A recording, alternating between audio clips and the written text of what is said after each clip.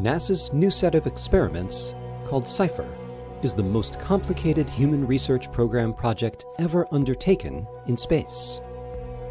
CIPHER, which stands for the Complement of Integrated Protocols for Human Exploration Research, integrates 14 multidisciplinary investigations and examines multiple astronauts across different mission durations over the course of many years.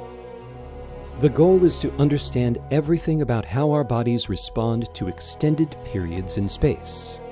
This information is crucial for the next generation of space exploration that takes us to the Moon, Mars, and beyond.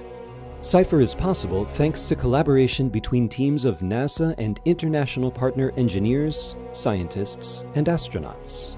For Nicole Schwanbeck, CIPHER project manager, this is one of the greatest achievements.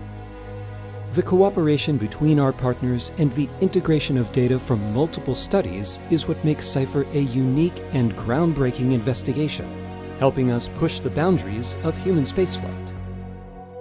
The concept for CIPHER emerged after Scott Kelly's 2015 one year mission in space. On this mission, he participated in the twin study, which evaluated Scott and his identical twin brother Mark while they lived in different environments for nearly a year, as well as other selected research. The results revealed clues to the potential impact long term space missions could have on a human body.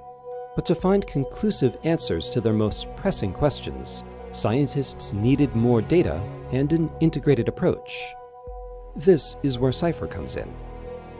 The project aims to address five of the major hazards of human spaceflight radiation, isolation and confinement, distance from Earth, microgravity, and hostile or closed environments.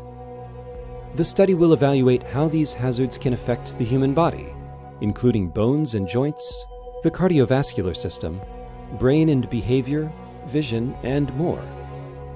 It will then go a step further, examining how changes in these different systems of the body may affect each other over time. Nicole Schwanbeck explains the goals are to look at these systems independently, but also with an integrated approach to see how changes in one system could affect changes in the other systems in the body and whether or not those changes plateau or get better or worse over time. The study also hopes to gain insights into long term effects of life in space. Does the human body adapt to space in new and unexpected ways? And are these changes permanent or do they subside after returning to Earth? Answering these questions can help scientists keep astronauts safe, healthy, and productive on their journey to the stars, while providing invaluable information that can lead to technical advancement and medical breakthroughs for those here on Earth. CIPHER is an ambitious and exciting venture to a new frontier of understanding that will help to unlock the next generation of space travel.